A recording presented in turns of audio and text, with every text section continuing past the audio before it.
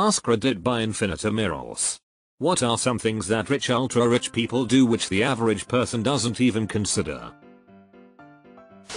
Buying a home for their college age children then they sell the house when their kid graduates sometimes this sale pays for college. Money making money.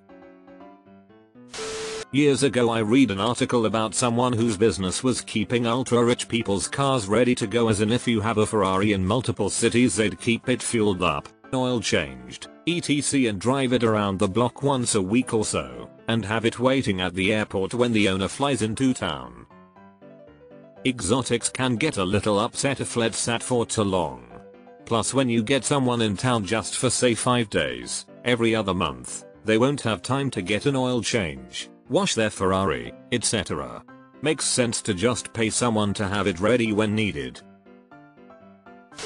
Having separate sets of clothing in each house so they don't have to take more than carry-on luggage when traveling. I heard of an optician in DC who had a limo pull up in front of his store and a Middle Eastern man in expensive robes got out with his bodyguard.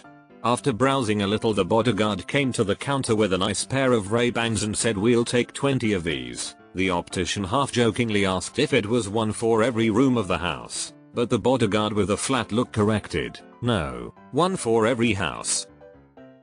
I also had a friend who had a friend who hired on as house maintenance for someone rich. Her job was to keep a steady supply of exactly the right perishable foods available in all this person's houses, and on constant rotation to keep it fresh so they would immediately have exactly what they liked available to eat if they decided on impulse to go to any particular house. I live near Scottsdale with a lot of wealthy people. They constantly remodel their vacation homes so there's always great stuff.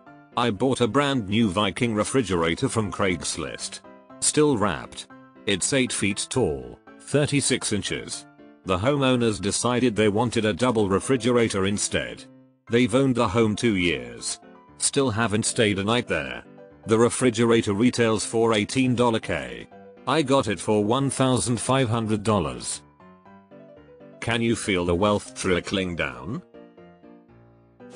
I have several rich friends who are my age, 50s, and don't work. Their biggest perk is attending every concert and show and buying front row.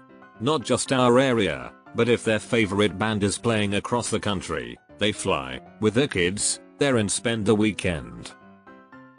I've known people whose adult children follow their favorite band around the world, attending every concert.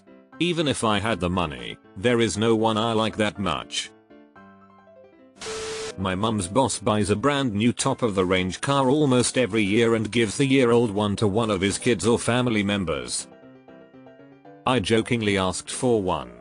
Truth is I doubt I could even afford the insurance let alone maintenance and fuel. It can cost $15,000 for a brake job. You are correct. I dated a girl from a super rich family for a couple years and every spring her entire family would go through their closets and donate 90% of their wardrobe and then go out and drop $20 k plus on entirely new clothes for the year because they had to have the new season of everything. As someone who grew up wearing clothes till they fell apart and patching them if they still fit, this blew my mind. Getting rid of perfectly good clothes because they were last season is just insane to me. At least they donated their clothes instead of throwing them away. Paying hundreds of thousands of dollars for golf course memberships. I photograph luxury homes in the most exclusive golf course neighborhoods in my state. I know of one neighborhood where membership runs 400k plus and there's a waitlist of people wanting to join. In Naples, FL there's a club that has a waitlist. It costs $30,000 to get on the waitlist but there is no guarantee you'll be selected that year. Every year you have to pony up another 30k to stay on the list.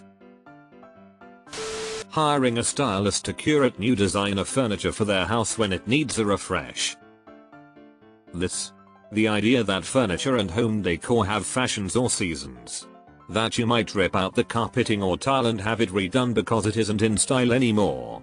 It's so beyond me that people waste perfectly good stuff, like let throw this couch in the garbage, because I'm tired of the color. Have assistants do things we wouldn't dream of doing. I know a rich person who hired a personal assistant to find the land to purchase. Here are the criteria. Forested land by the sea, cliffs, quiet area but with cell reception and make it so that it isn't an area with lots of boat traffic so I can take my bath while looking out at sea. Damn. My only requirement buying a home is that it includes a bathtub lol. Most of my rich friends growing up always had stocked and organized fridges. Someone did all the shopping and kept everything organized. I do that, but I'm just dad. They can call me wherever I am and ask where X food is and I can tell them. Pay for kidnap insurance. I would be interested in the pre-assessment insurance does for this coverage.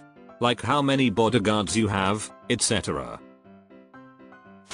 Buy the island instead of vacation to the island. Some billionaire just tried that in Duluth, MN. She then threatened to sue anyone who reported on it or asked questions then. After that caused public backlash and had the mayor wanting to talk to her, she is now backing out and tried to say she had plans for the good of community. I actually know one. They haven't been to a grocery store since mid 90s. It's a banana. How much could it cost? $10? Flying to another country on a private jet just to eat dinner. That's exactly the thought I had which spawned this question. Like, what do you want for dinner? Roll let's go to Mexico City for dinner tonight.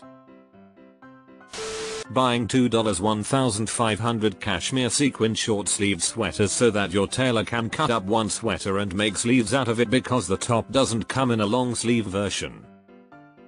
Source, I used to work for a very wealthy retired actress who did this.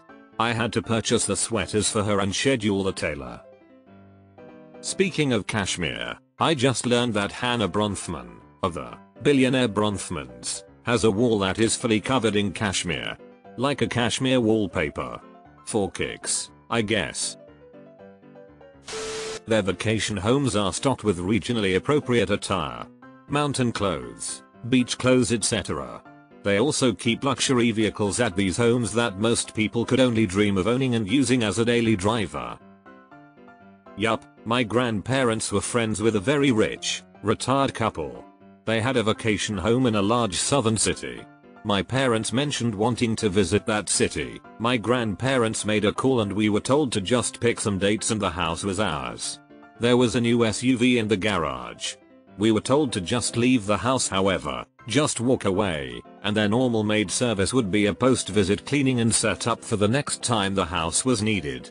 When we arrived, the maids had turned down the beds, had flowers in the kitchen, there was a cheese plate in the fridge for us, beers, soda and water, a nice saying to help ourselves to the liquor cabinet, and a number for the local maids if we had any questions. It was damn impressive. This wasn't a mansion, just a more normal, 5 bed, 4k square foot type place, but I felt like a king. I live outside of a major city. I am from a not wealthy area bordering on a wealthy area but my parents sent me to private school so I have friends from both places. I offhandedly mentioned to a wealthier friend the other day that I saw a condo on sale for $2 million in one of the richer towns. I said that if I were in the market for a $2 million property here, I'd be looking for a house, not an apartment. She explained that they weren't for sale with full-time living in mind they are mostly used as pied-à-terres by mega rich people who bounce back and forth between the city and further out in the suburbs and don't want to have to rush home beat traffic deal with trains, or for people who dock their yachts nearby. TLDR, man imported an ancient monastery door to use on his ranch home. I worked on a ranch just south of Crested Butte, CO. If you aren't a billionaire, don't even think about looking at buying a home there. The owner of the ranch bought the front door from a Tibetan monastery and flew it to the US to use as his front door on his main house. It was all ornamentally hand carved, like 3000 years old, approx 12 feet x 6 feet x 2 feet, and weighed tons upon tons upon tons. Not even the cost of the door itself, but the shipping alone must have been astronomical. And this was just his front door on his main house. There must have been over 10 buildings on the property. I've seen worked on many billionaire mansions all over CO, and this dude's ranch is the nicest I've ever seen. Summer, in the verb form. Umfeo. Yeah, we summer in the Hamptons and winter in Los Angeles. Not me but, they. Have lobsters flown from Maine to Japan on a private jet to impress a client? I'll be honest. I'd be impressed by a lobster flying in economy class, never mind a private jet. Concierge private specialized medical care. If they have a special or chronic condition, say kidney failure, they'll have a dialysis ward installed in their home with a private nephrologist etc. Or end up hiring someone who will end up donating an organ to them, or cancer treatments set up in home, etc. or have an MRI installed in their home etc own a senator or two. You'd be amazed at how cheap you can get M on sale these days. Limo jousting. And great puppin fights. Deleted. In 1829, Lockhart Castle, https colon slash slash www.japancastle.jp slash 2020 slash 07 slash lock dash heart dash castle dot html close bracket was built in the South Lanarkshire of Scotland. In 1987, it was bought by a Japanese actor, dismantled brick by brick and taken to Japan along the Siberian Railway, and in 1993 the castle was reconstructed in Gunma Prefecture, Japan. These days it's a tourist attraction, castle theme park and hosts weddings and special events. We were driving along the Japan Romantic Road, came around a bend in the road and there it was, a Scottish castle in the middle of Japan. It was a completely bizarre sight.